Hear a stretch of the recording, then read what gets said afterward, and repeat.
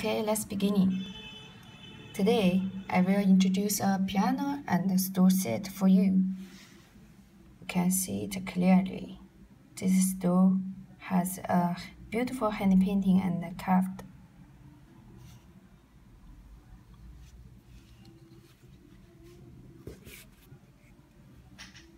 Then you can see the piano.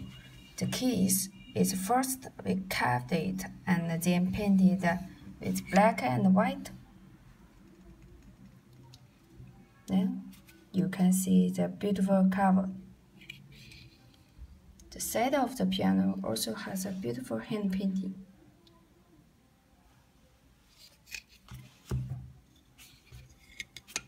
Also this side.